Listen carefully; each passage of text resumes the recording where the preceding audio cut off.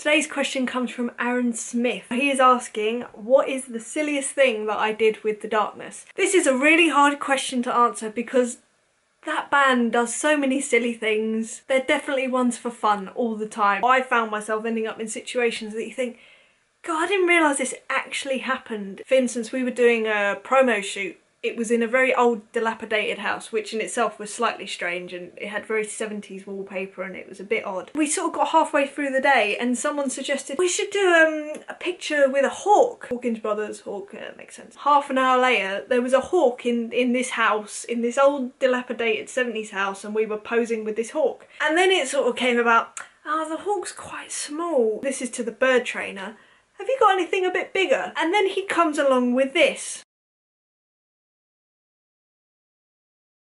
So that was pretty silly, very random. The fact that within about an hour, not only were we doing a photo shoot with a bird, we were doing it with a giant owl. We did a we did a music video in um, Valentia Island. It sounds quite idyllic and, and wonderful and exotic. It's in Ireland, and believe me, Ireland in February is freezing. We did a music video for Open Fire. Part of it was we were all running up a hill in the freezing cold chasing a van that was filming us. I'm not the best runner in the world. It was really quite traumatizing to be honest. Doing uh, the performance side of the video, we literally drove down to the, the most secluded part of this island. The wind was just crazy and had the sea crashing against the rocks and we had to do a performance part of the video on this coastline, which you'll see in the actual video.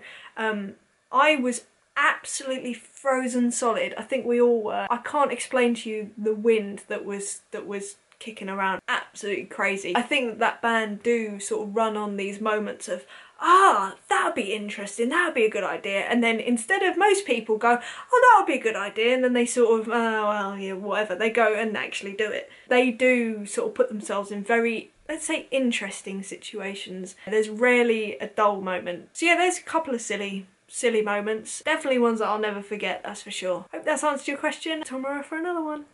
Bye.